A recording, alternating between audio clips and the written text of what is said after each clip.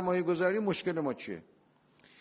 در داخل برخی از مشکلات که خب میشه حل و فصل کرد. اگه همه با هم هماهنگ باشن یعنی دستگاه قانونگذاری قوه قضایی دولت همه با هم باشند اون مشکلات از بین میره. انشالله امیدواریم از دوازده مرداد به اونور دیگه یک هماهنگی کاملی بین سه قوه به وجود بیاد.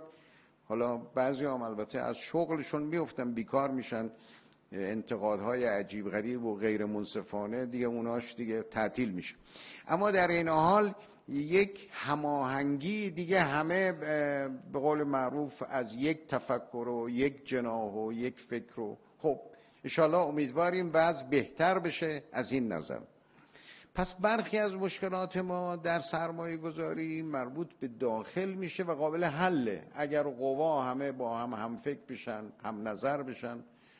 وقتی هم نظر نیستن خب میمونه.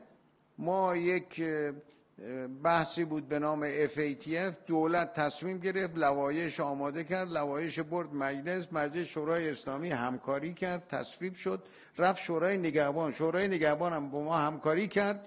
یه جا دیگه گیر افتاد.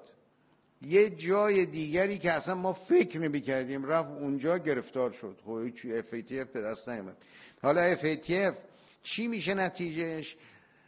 روابط ما با بانک های دنیا تا این مسئله حل نشه دچار مشکله. حالا هرچی می‌خوام بشه ممکنه نظرات مختلف باشه. یکی هم بگه نه بهتره FATF نداشته باشه. من کاری به نظر ندارم. این یه واقعیته. Thank you.